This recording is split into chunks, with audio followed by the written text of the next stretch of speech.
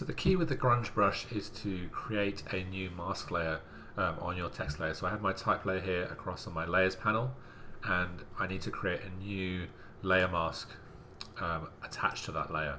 So basically once I have that layer mask attached I can grab my brush tool and I'm using uh, a scatter brush so you can see if I just use that on the background layer it's kind of scattering a, a texture on the background and so now if we use this on the layer mask here and I'm painting with black then what's black will hide that area of that text. So if I grab my background and grab a gradient we'll just grab a quick green to blue gradient then you can see the text is broken up. So it's basically by painting on this layer mask that you can break up the text and allow yourself to uh, see through it. And we can break it up use different size brushes to kind of add some extra texture um, to our grunge type.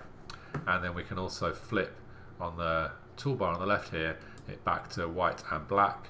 And you can see we'll be able to actually we need to turn this off darken turn that back to normal. Uh, we can paint back in parts of the text as well with the different size brush. So we can paint out the text, um, so give it transparency um, by using the grunge brush, brush here, and then we can also edit the text as well um, because it's only that mask layer that's giving it the transparency.